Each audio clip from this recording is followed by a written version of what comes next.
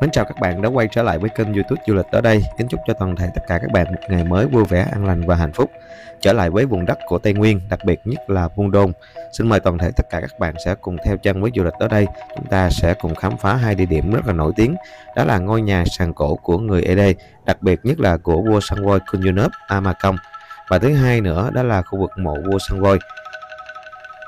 Khi chúng ta đặt chân đến mảnh đất à, Buôn Đôn chắc hẳn là mỗi người trong chúng ta đều từng nghe nhắc đến một cái truyền thuyết à, có truyền thống từ lâu đời của ngồng người đồng bào Mờ Nông và Ed à, đó là nghề săn bắt và thuần dưỡng voi rừng nổi tiếng không chỉ ở Việt Nam chúng ta mà còn cả khu vực Đông Nam Á.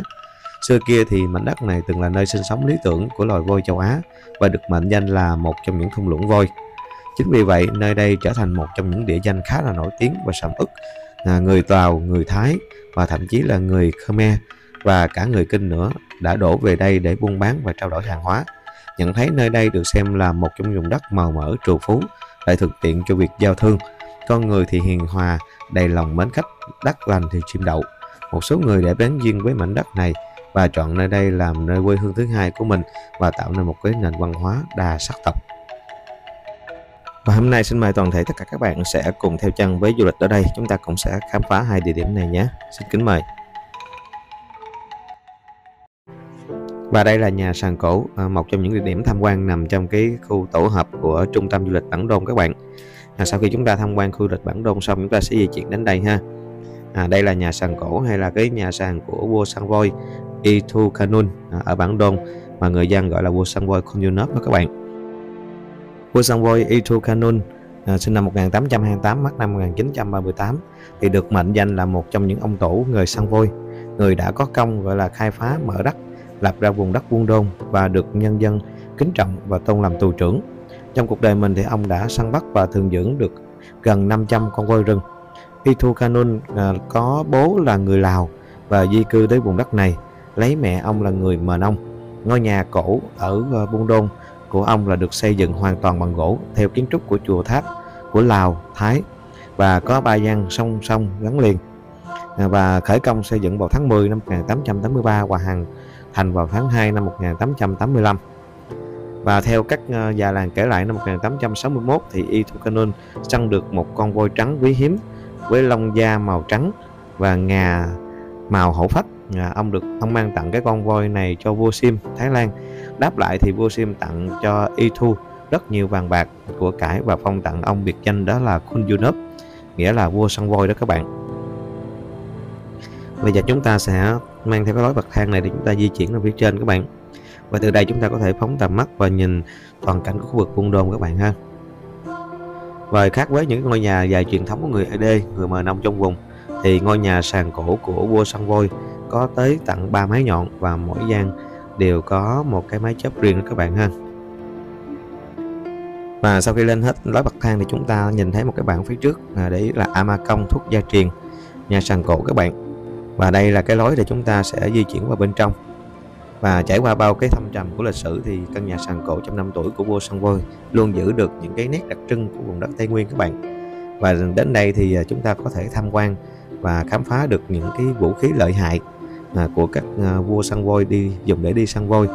Và đó là những cái dụng cụ săn bắt túi quay đựng nè, rồi đồ nghề và những cái chiếc mâm đồng được chuyển từ Lào sang, rồi thanh kiếm do vua Bảo Đại tặng cùng với những cái đồ vật khác.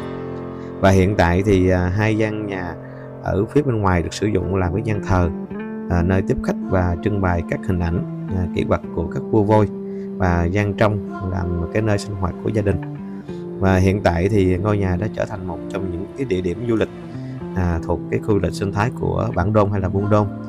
Và hiện tại thì à, à, khi mà chúng ta tìm đến đây thì không chỉ là để thăm ngôi nhà sàn cổ trăm năm tuổi À, của các vua săn voi mà chúng ta còn chiêm ngưỡng được những cái nét đặc trưng về kiến trúc, văn hóa và tìm hiểu những câu chuyện à, về cái cuộc đời của các vị vua săn voi này các bạn.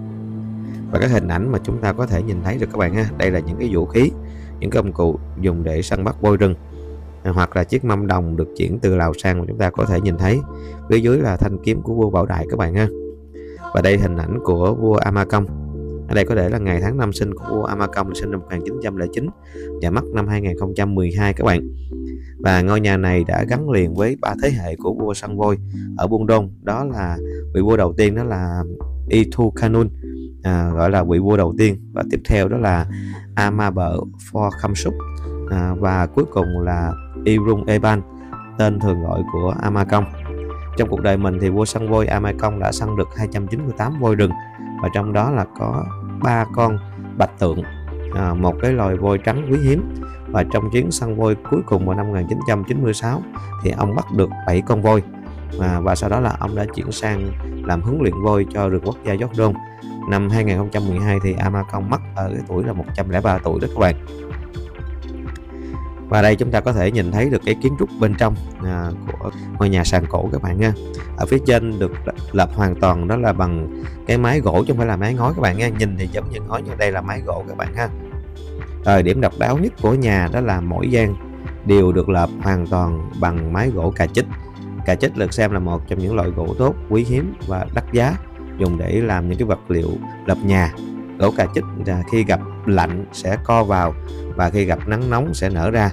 Để lập đủ cái ờ, nhà sàn cổ này thì thợ đã phải đẽo khoảng 8.726 cái thanh gỗ, cà chích à, để làm mái ngói và tốn gần 10 mét khối gỗ cà chích đó các bạn. Năm 1954 thì một cái cây me đã đổ sập à, làm mất cái gian ở phía trong và tuy đã được khôi phục lại nhưng mà căn nhà không còn à, giữ được cái độ nguyên bản nữa các bạn. Sau khi chúng ta tham quan nhà sàn cổ xong xin mời toàn thể tất cả các bạn chúng ta sẽ tiếp tục di chuyển ra xe và tiếp tục di chuyển để tham quan khu lăng mộ của vua Sơn voi. Sau khi chúng ta rời khỏi khu vực à, của nhà sàn cổ thì tiếp tục lên xe chúng ta sẽ di chuyển ngược về hướng của Buôn Đôn. À, hay là trung tâm du lịch Buôn Đôn chúng ta sẽ đi ngang khu vực đó là mộ của vua Sơn voi. Và ở đây thì chúng ta có thể thấy là nổi bật nhất đó là hai khu mộ lớn đó là mộ của vua săn voi Kunyunup và thứ hai đó là khu vực mộ của vua săn voi Amakong. À, xin được chia sẻ thêm cái thông tin về vua săn voi Amakong.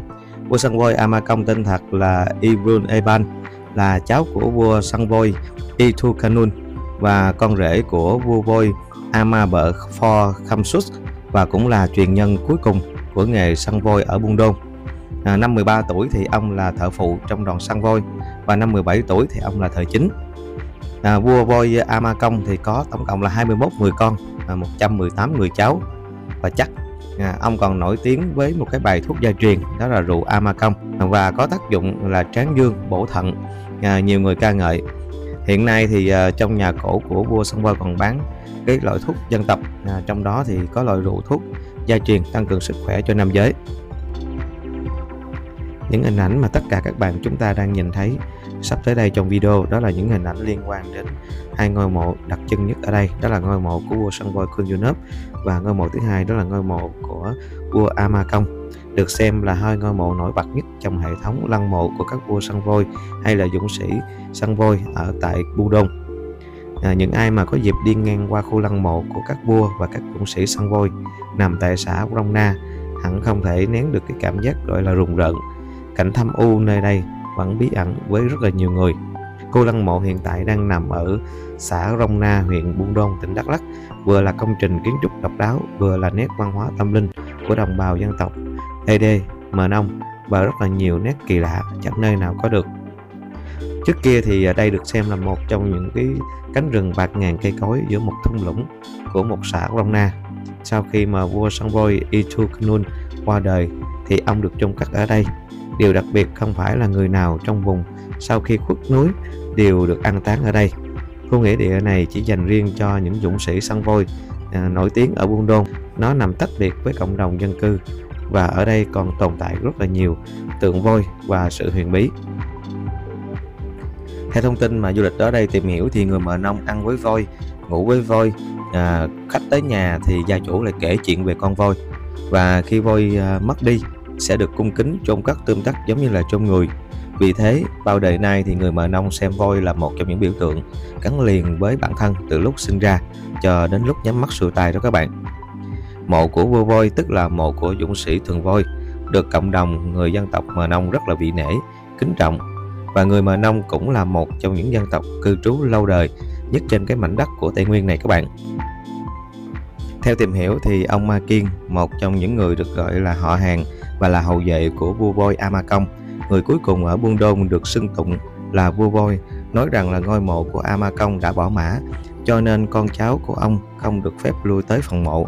Đó cũng là tục lệ lý giải vì sao ngôi mộ của ông được xây cất, sơn phết và trang trí rất là nhiều đồ thờ tự như là một lăng mộ nhưng lại bỏ hoang và không có dấu hiệu được chăm sóc. Khi còn sống thì những cái người cao quý được biếu tặng những cái bộ lông chim công để trưng ở trong nhà trên bàn thờ tổ tiên. Khi mất thì tượng chim công ngồi trên ngà voi được tạc sau lễ bỏ mã để ngay ở mặt chính của ngôi mộ để chim công chỉ lối cho linh hồn chức nợ trần gian và về với tổ tiên.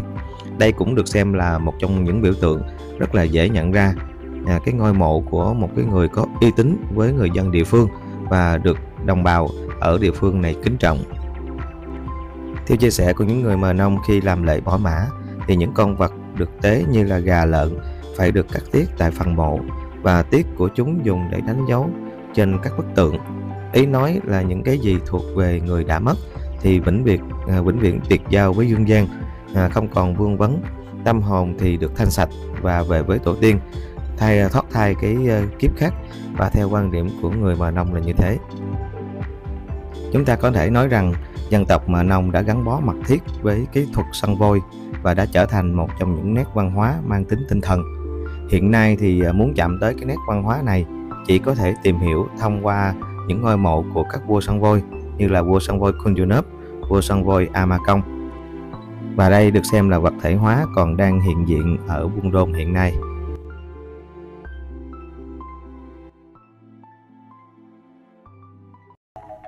Đến đây thì xin mời toàn thể tất cả các bạn chúng ta sẽ nhìn lại hình ảnh những đàn voi ở vùng đất của Buôn Đôn, xứ sở nổi tiếng về cái nghề săn bắt và thường dưỡng voi rừng. Và gửi lời cảm ơn chân thành đến toàn thể tất cả các bạn đã xem và ủng hộ video này. Rất mong nhận được sự ủng hộ của các bạn trong những video tiếp theo. Xin gửi lời chào tạm biệt và hẹn gặp lại.